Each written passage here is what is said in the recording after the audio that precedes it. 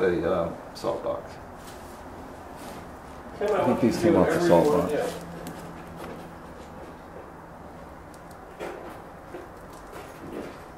They went to so much trouble. They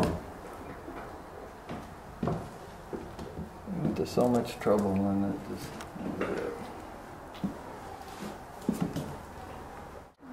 We're here at Heritage Square. Gordon, I want to thank you for, for meeting us. We are in the, the octagonal house, which is where they keep a lot of their display pieces. And Gordon, in, in, in back of us in this display case is, why don't you tell us what this photo is, which is why we're here. Right. The, the photo up here is of the castle, which sat at 325 South Bunker Hill Avenue.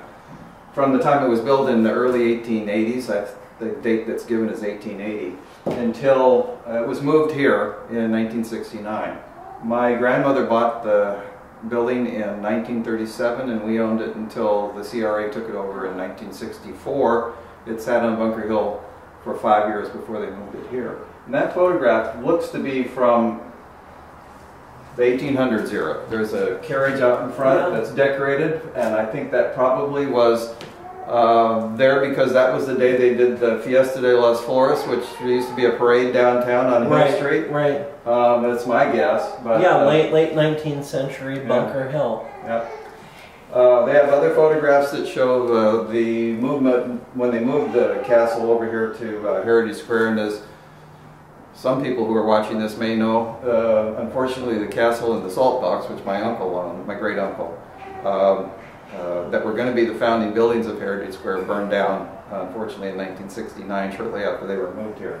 And we have some pieces from that were salvaged from that. So this is why we're here. So we're here specifically to have you touch the door. Well, this is the front door knob of the castle.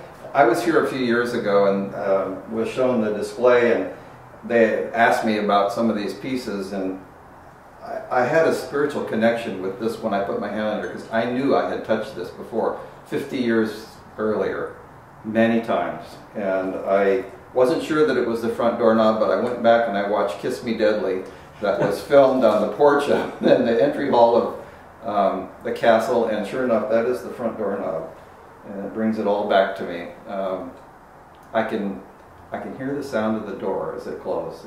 They were double doors with stained glass, and uh, the one on the left is the one that you opened and, and went in and out of. But when it closed, they sort of rattled together. It brings it all back because I can hear it right now.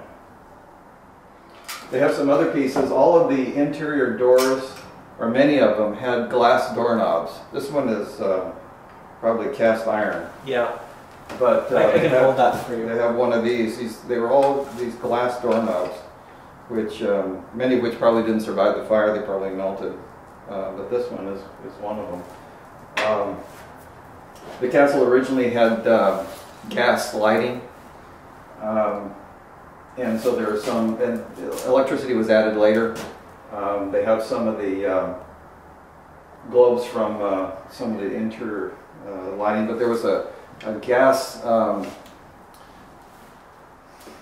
what do you call it? Sitting on the uh, pillars of the uh, stairway in the entry hall were uh, big gas lighting fixtures. People people there. can probably watch uh, Meet Me in St. Louis Yeah. with Judy Garland To see those get- things, to yeah. see to see how those actually work in a Victorian household. Yeah. Well, Gordon, I want, I want to thank you. We just want to do a quick quick snapshot of, Yeah. of our visit here, and we'll do a little more digging and.